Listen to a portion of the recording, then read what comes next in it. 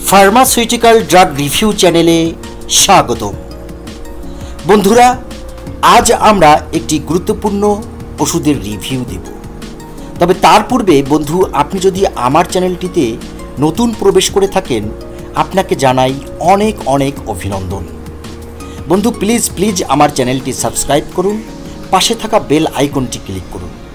আর যদি, বন্ধু, আপনি আমার চ্যানেলটিকে আগে থেকে সাবস্ক্রাইব করে থাকেন তাহলে আপনাকে জানাই অনেক অনেক ধন্যবাদ। আজ আমরা কোনো খাবার ওষুধ অথবা সিরাপের রিভিউ দিচ্ছি না। আমরা এই ভিডিওটিতে একটি ক্রিম সম্পর্কে জানব। আমাদের আজকের ক্রিমটির নাম হচ্ছে বেটামেসন এন। বেটামেসন এন, এই যে ক্রিমটি দেখতে পাচ্ছেন, এটি স্কোয়ার কোম্পানির একটি প্রোডাক্ট। আর বন্ধুরা, এটির খুচরা মূল্য গায়ে লেখা রয়েছে বাইশ টাকা। বিভিন্ন দোকানে হয়তো দাম একটু হেরফের হতে পারে। এই যে ক্রিমটি দেখতে পাচ্ছেন, এটির উপাদানে যদি বলি, উপাদানে রয়েছে বেটামিতাসন ডাইপ্রো পিওনেট এক মিলিগ্রাম বেটামিতাসন বেস এবং নিওমাইসিন সালফেট পাঁচ মিলিগ্রাম ক্রিম। নির্দেশনা যদি বলি যে ব্যাকটেরিয়া জনিত সেকেন্ডারি সংক্রমণ, একজিমা, প্রুরিগো, নোডুলার রিস ও সোরিয়াসিস, সেবোরিক ডার্মাটাইটিস, স্পর্শজনিত চর্মরোগ। এটা সাধারণত ইরাইথ্রো ডার্মাতে স্টেরয়েড চিকিৎসায়ও সহ চিকিৎসা হিসেবে ব্যবহার করা যেতে পারে। এটা পোকার কামড়ের জন্য সেকেন্ডারি সংক্রমণ এবং মলদ্বারে অথবা প্রজননতন্ত্রের মুখে সংক্রামণে ব্যবহার করা হয়ে থাকে। সহজ কথা যে এটি একটি ক্রিম যেটি ব্যাকটেরিয়া জনিত যে সংক্রমণ সেগুলো প্রতিহত করে। মাত্রা ও বিধি যদি বলি, প্রতিদিন দুই থেকে তিনবার আক্রান্ত স্থানে মৃদুভাবে আঙুল দিয়ে লাগিয়ে নিতে হবে।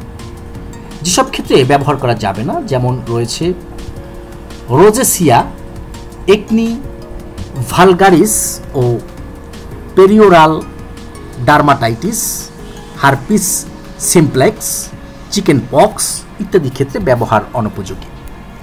এটার কোনো উপাদানের প্রতি সংবেদনশীল রোগীদের ক্ষেত্রে ব্যবহার অনুপযোগী। কিছু ক্ষেত্রে, যেমন গর্ভাবস্থায় বয়স্কদের ক্ষেত্রে এবং যাদের বৃক্কের কার্যক্রম ত্রুটিযুক্ত তাদের ক্ষেত্রে কোনো রূপ বিরূপ প্রতিক্রিয়ায় ঝুঁকির জন্য ব্যবহার না করা ভালো। এছাড়া ক্যান্ডিডিয়াসিস টেনিয়া ইম্পেটিগো সিউডোমোনাস অথবা প্রোটিয়াস শ্রেণির জন্য প্রাইমারি এবং সেকেন্ডারি সংক্রমণ পেরিয়েনাল ও জননাঙ্গের পুরুরাইটিস এক বছর বয়সের নিচে শিশুদের চর্মরোগ,